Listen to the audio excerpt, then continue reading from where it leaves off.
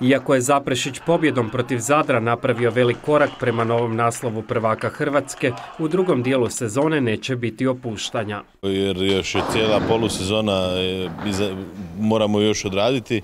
E, mi smo sada u odličnoj situaciji što se tiče nekakve pozicije na tablici, no ostavlja maksimalnu ozbiljnost s obzirom da gostujemo još i u Osijeku i Velebitu i Čakovcu i Mertojaku. To su sve teške kuglane, a u krajnjoj liniji zadnje kolo dolazi Zadar doma. Nadamo se da do tada će to stvarno biti riješeno i da ta utakmica neće imati pretjeranog značaja, no malo sebično ja si očekujem 18-0. Zadrani su učinili sve da otežaju Zaprešiću kuglanje na njihovoj novoj kuglani, što govori i rezultat srušenih čunjeva 3557 naprema 3586. Zaprešić je na kraju slavio sa 3 naprema 5. Pa nažalost, meni je to jedna od najvećih grozota ovog našeg sporta, jer ne pripremiti novi objekt e, po meni je samo pucanje u nogu sam sebi jer ako ti treniraš na tom objektu i ako se možeš njemu prilagoditi, e, onda ćeš sigurno imati bolje rezultate, no dečki su odlučili to dosta onako malo ostaviti nepripremljeno. Ja imam sreću da moja momčad je jako navikla na to, odnosno velika većina mojih igrača je odrasla na takvim teškim kuglanama i vrlo su prilagodljivi.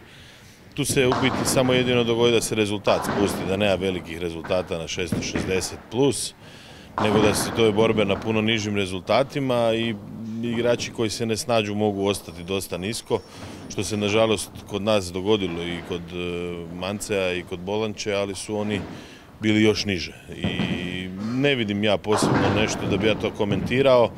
E, mislim da smo bili bolji i zasluženo smo pobjedili ali da to podržavam, ne podržavam. Iza Zaprišićana je odličan jesenski dio gdje su upisali sve pobjede izuzev poraza u finalu svjetskog kupa. Ja sam jako zadovoljan, odnosno svaki trener koji nakon e, osvajanja drugog mjesta na svjetskom kupu i pozicije broj 1 u ligaškom natjecanju e, nije zadovoljan, po meni nije baš pri sebi, ali e, ono što moram reći da su dečki stvarno odradili ove sezone svoj posao kao i prošle i stvarno imamo jako stabilnu, dobru momčad koja sada je strah i trepet svima, odnosno Evo sad u ovoj polusezoni kada smo mi sad već vidljivi jer prošle sezone nisu ni Ramić ni Jagličić bili nešto poznati unutar hrvatskih kugačkih krugova.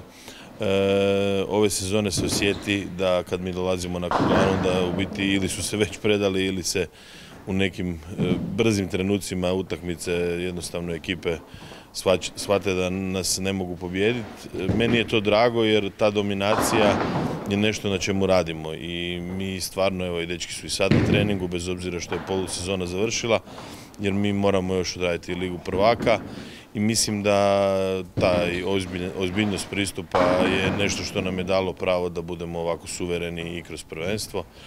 A taj jedan poraz dogodio se u finalu svjetskog kupa, finala su finala i nažalost nekakvim mojim planovima nije se dogodilo da ta finala igramo protiv Cerpsta kojeg smo izbacili u polufinalu. Bili smo malo ispuhani, ali ne žalim za tim. E, da pače ostao je taj još jedan motiv više.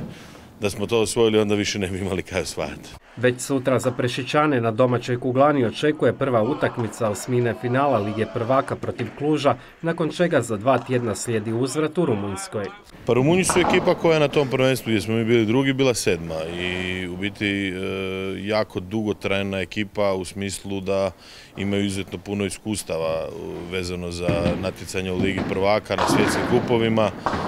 To su manje više reprezentativci Rumunjske koji su jako dobri kuglači kvalitetom oni trenutno nisu možda na našoj razini, no ne treba se igrati. Mi sa Rumunjima imamo relativno loša iskustva.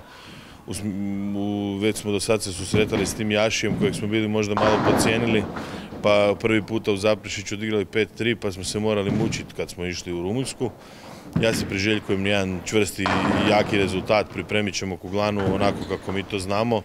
Volio bi da opet odemo preko 3900, ako se to dogodi onda nas rezultat 7-1-8-0 može čekati, što nam daje onda lagano, lagano putovanje u Rumunjsku gdje ćemo praktički morati osvojiti samo jedan bod, no ponavljam, ja s tim nisam zadovoljan. Ja hoću pobijediti svaku utakmicu jer mislim da to ovi dečki zaslužuju. Nakon osmine finala Lige prvaka, Zaprešićani neće imati mnogo odmora jer prvenstvo Hrvatske nastavljaju već 13. siječnja utakmicom protiv Medveščaka na domaćoj kuglani.